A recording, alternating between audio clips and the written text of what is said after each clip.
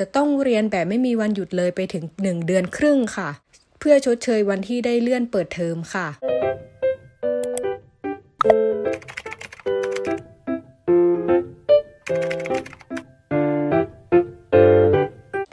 สวัสดีค่ะ เล่าให้เพื่อนฟังในวันนี้นะคะ จะมาพูดถึงการเรียนของเด็กในประเทศของเราค่ะในยุคโควิด -19 นะคะ ที่เพิ่งโดนเลื่อนเปิดเทอมไปค่ะ แต่กลับให้เรียนชดเชยเสาร์อาทิตย์นะคะ เด็กๆเนี่ยก็เลยแย้งขึ้นมาว่า เป็นการแก้ปัญหาโดยไม่สนใจว่าตัวผู้เรียนจะไหวหรือเปล่าค่ะ เรื่องราวนะคะมาจากที่กระทรวงศึกษาธิการ ได้เลื่อนเปิดภาคเรียนที่ 1 ปี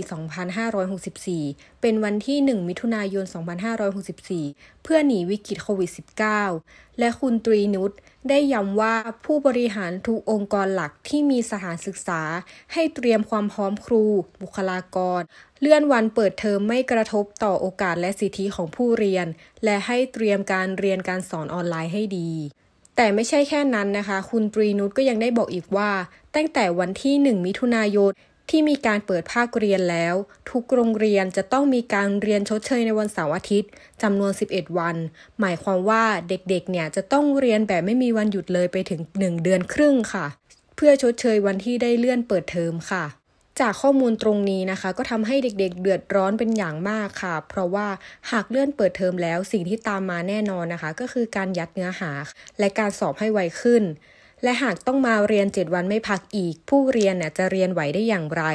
เพราะการเรียนออนไลน์ที่ผ่านมานะคะ ปัญหาของทุกโรงเรียนที่เหมือนกันนะคะ ก็คือการสั่งงานเยอะค่ะ จนทำให้เด็กๆเนี่ยทำงานส่งไม่ทัน และไม่มีเวลาไปเตรียมสอบเข้ามาหาลัย ซึ่งเป็นสิ่งที่สำคัญมากๆสำหรับเด็กม .6 ค่ะ และยังมีความเห็นบางส่วนนะคะ ที่บอกว่าประเทศไทยเนี่ยควรหยุดทำการเรียนการสอนอย่างจริงจังหนึ่งปี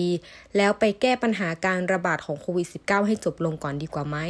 เพราะแบบนี้นะคะก็เหมือนการแก้ปัญหาที่ปลายเหตุและผลักภาระให้กับผู้เรียนค่ะ เราก็ต้องมาติดตามชมกันต่อไปนะคะว่า ทางกระทรวงศึกษาธิการเนี่ยจะทำการแก้ปัญหาเรื่องนี้ต่อไปอย่างไร และเจี๊ยบค่ะก็ขอเป็นกำลังใจให้กับน้องๆทุกคนนะคะ ที่กำลังเจอวิกฤตนี้ ขอให้น้องๆผ่านมันไปให้ได้ และได้เข้าเรียนในมหาลัยที่ชอบและคณะที่ใช่ค่ะสำหรับวันนี้นะคะเล่าให้เพื่อนฟังก็ขอลาไปก่อนค่ะสำหรับใครนะคะ ที่อยากจะให้เล่าเรื่องไหนให้ฟังนะคะ ก็สามารถที่จะคอมเมนต์มาได้ที่ใต้คลิปนี้เลยค่ะสำหรับวันนี้ขอลาไปก่อน สวัสดีค่ะ